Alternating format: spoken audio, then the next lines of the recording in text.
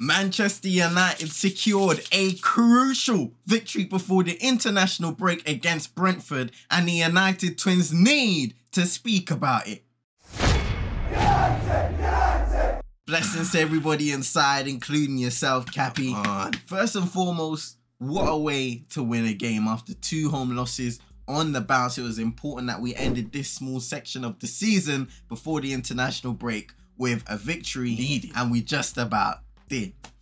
Now, I may have been seen as extremely negative post match because to me, that was a horrible performance. It was not a good performance at all by Manchester United, and we were much more in control of our destiny in this game because once Brentford opened the scoring courtesy of Mathias Jensen, or maybe even more so in the second half, the away side looked to protect their lead by soaking up pressure and remaining as organised as possible in defensive areas. That eliminates the high pressing we saw from them at the beginning of the game, which means players have more time and space to make those crucial decisions. I just didn't believe that we played with enough poise for almost the entirety of the fixture, and maybe that has something to do with us struggling against well organized machines. But even then, a lack of intensity in our passing, not a lot of forward movement to drag defenders out of position, even the patterns of play weren't established in my opinion. Almost like a freestyle and it can be very tough to watch at times. So what's the saving grace you may ask? I hear a lot about the injuries we have amassed and that could be more with Rafael Varane being out of the squad for this game even though his issue was described as minor and even Victor Lindelof walked down the tunnel once being substituted for Anthony Martial a lot of injuries have been sustained in defensive positions. Some absentees in the midfield and up front as well. Hmm. Some players have also struggled for form, potentially fatigued due to the insanity of, of last year's scheduling. You could even say the last few years of scheduling when you look at it, fixture congestion is running wild. And the BBC put out a story that I'm literally looking at right now that had uh, Bruno Fernandes as the head figure of the story basically saying he's played the most minutes in a, in a year span 15th of September 22 to 23 this year. And he's played 6,666 minutes 72 games for club and country. And there was a little study by a company analyzing some players at the elite level and how that could be affecting them physically and mentally due to the high demands of every single fixture. Think about it. Players are coming, they're playing multiple minutes, especially the, the ones that are in the team sheet every single week, playing a lot of minutes week in, week out for their club. And then they have to go during these international breaks, which is why I'm not a big fan of international breaks these days because they've implemented so much unnecessary competitions that demands the players once again to play more minutes. We've got the Champions League increasing the number of games next Ah. season as well. So all of these uh, governing bodies, UEFA, uh, FIFA, uh, even the Premier League to a certain extent, of course, they are part of that. But still, all of these governing bodies are not making it easier for the players to get sustained rest, the rest that they potentially need to get back to a level mentally and physically where they can perform at a high level week in, week out. The question I will ask to the audience now is do you believe that things will significantly improve with, with everything that I've just said when we have the availability and time to work in that environment with little to no disturbances if allowed to? It is going to be very difficult, and you can see where Manchester United have had their struggles so far this season with a lack of availability once again, especially in defensive areas. But what do you guys in the comments think? Now, I'm not gonna lie, CM. I shared the same sentiment as you in regards to the game for 92 minutes.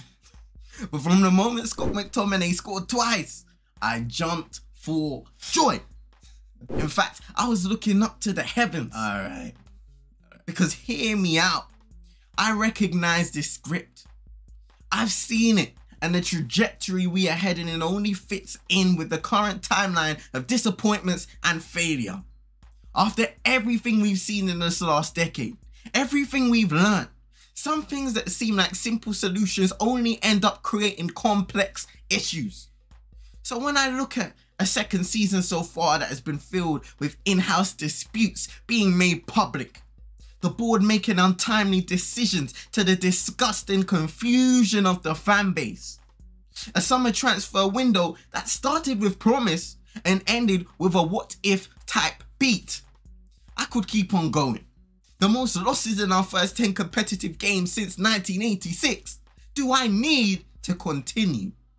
Summing that all up, what I'm trying to say is that sometimes when you're this deep underwater, you might not have the technique to mind. But all that matters is how you find a way to reach back to shore, safe and sound. Get back to the top. Can't say Manchester United have been untouched. Far from that, in fact. But hopefully this international break will be an opportunity to press reset. A chance to take the confidence of this victory and move forward. Easier said than done, yeah. but somehow this team, these players, and the manager will need to generate some momentum if they want to rise back up the league table. If they want to maintain their status within Europe's elite, i.e., the champion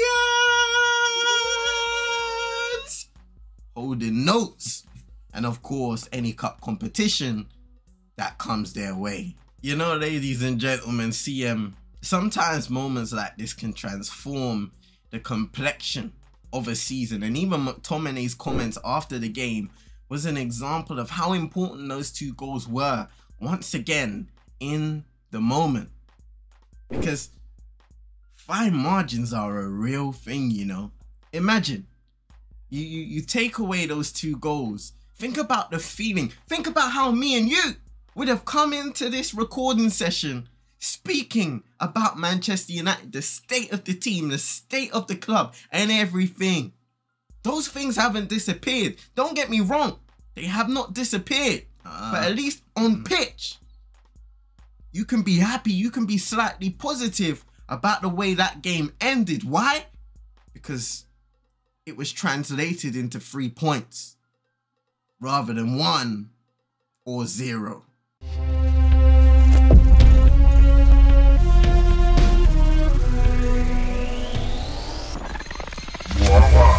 CTC News. Welcome to CTC News, where I will be looking at some of the latest, greatest, and not so greatest news around the ends of Manchester United. So let's look into today's First story. Manchester United fans gathered outside of the ticketing offices at Old Trafford to protest against the Glazer ownership amid news of Sir Jim Ratcliffe's plans to purchase a 25% stake of the club while allowing the disliked owners of 18 years to remain until 2026. This protest was organized by fan group the 1958 as they continue to question the integrity or lack thereof when it comes to Avram and Joel Glazer's manipulation of match-going supporters. Man United's women's side were involved in an eventful 2-2 draw in their first WSL home game of the season. Leah Galton capitalised on a mistake by Arsenal goalkeeper Sabrina D'Angelo to level the game at one apiece after 27 minutes. And late in the second half, debutant and French international Melvine Malard gave the Red Devils a lead that unfortunately didn't win the game due to a spectacular equaliser from Cloé Lacasse. Marc Skinner's side now heading to an important Champions League qualifying game on Tuesday against Paris Saint-Germain, with the first leg being at home.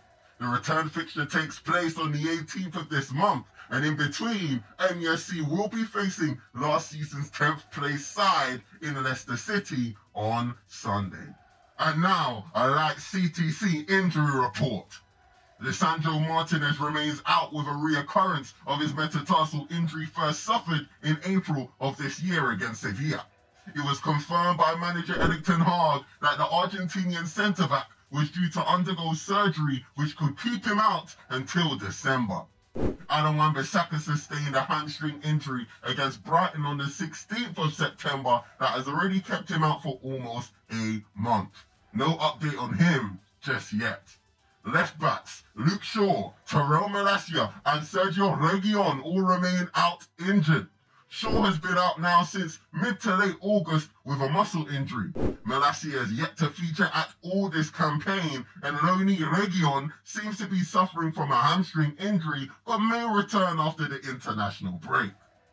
Other absentees include Kobbie Mainoo, who has started training again recently, Amad Diallo, who sustained a knee injury in pre-season. Rafael Varane was not included in the squad against Brentford, but his issue is reported as minor. We will see. Victor Lindelof was also seen going straight down the tunnel after being substituted in United's 2-1 victory on Saturday. No news about that just yet. So Alex Ferguson's beloved wife, Lady Cathy Ferguson, has died at the age of 84. The sad news was revealed in a Ferguson family statement on October 6th. Lady Cathy and Sir Alex had been married for 57 years, and she reportedly played a pivotal role in him not retiring in 2002. Behind a successful man, there's an even stronger woman, and we here at CM22ENT would like to send out blessings to the Ferguson family in these tough times.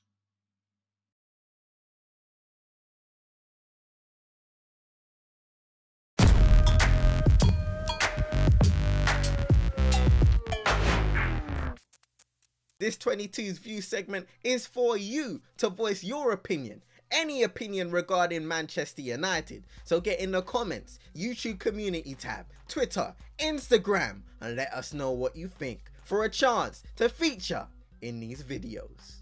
Blessings to Super Nick, as always, saying, I'm still trying to understand why it took um, a McTominay cameo for the team to show some urgency. And don't even get me started with the financial man of the match, Well, I'm going to leave the last part for you guys to, to discuss in the comments because it seemed to be a very controversial topic after the game. But on the first point, of course, it is a cause for concern that it took us so late to show a level of urgency once we saw the goal. We should be motivated from the offing. We should be able to find that motivation from the offing to, to show a level of urgency and a need and want and desire to win games, to score goals, to make sure that we're executing the game plan to the best of our abilities. And right now, that is not happening on a consistent basis. So not just on the pitch tactically, things need to be tweaked, of course, but also mentally, there needs to be a switch in a lot of these players. And I don't know if we can find that. No, that I would have to see it to believe it. Because I don't think a lot of these players are capable of, of flicking that switch consistently enough to be able to win games and, and to go on runs and, and to beat a competitive side competing for leagues, titles, and championships in general on a consistent basis. What do you guys think about that in the comments? Shout out to Paxton saying Project McSauce back up and running again. and you have to give credit where credit is due to Scott McTominay and to Erik Ten Hag for making a substitution. This is a guy that I'm sure myself, CM, and a lot of Manchester United fans have said he's not good enough to be a week in week out starter at the level we want to be at and of course that is forward thinking but still we those are the words that a lot of people have uttered even in this moment we want better for our midfield for our whole side there needs to be quality all around the pitch to elevate yourself and, and get closer to the, the opposition that we should be going up against we all know who that should be but he could have left in the summer he hasn't seen a lot of game time, and Erik Ten Hag has kind of implemented him in a way where if you need an option off the bench late in games, we're going to bring you on and see what you can do for the most part. For the most part. And he delivered against Brentford.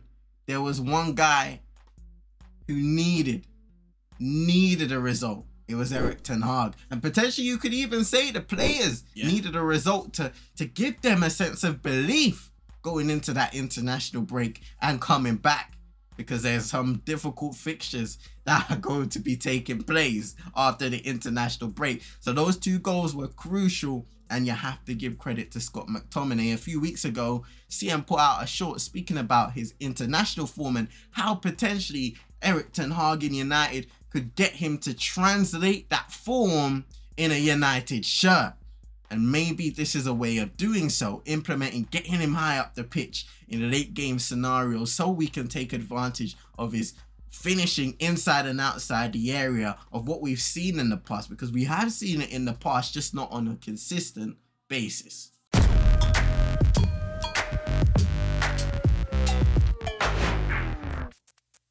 The international break now looms a little two week gap. Not a lot of break for the players. If you know, you know from earlier in the episode. Nonetheless, on our return, there will be a newly promoted side in Sheffield United on the 21st at Bramall Lane, who are yet to get their first victory on their return to the top flight. Seven losses and one draw, stuck in 20th mm, place. Mm. So, ladies and gentlemen, first and foremost, tell us what you thought of the Brentford game overall in the comments and how you're feeling going into the Sheffield United game and onwards. Also, have your say on everything CTC reported in his news segment, including the Glazers out protest, Man United women starting off their season with a win and a draw so far and going into a very important game against PSG tomorrow. Good luck to each and every one of them. Hopefully they get the victory in that first leg. And also, we would like to reciprocate what he did at the end of his segment and just say Rest in peace to Lady Cathy Ferguson. Prayers and blessings to the entire Ferguson family at this tough time.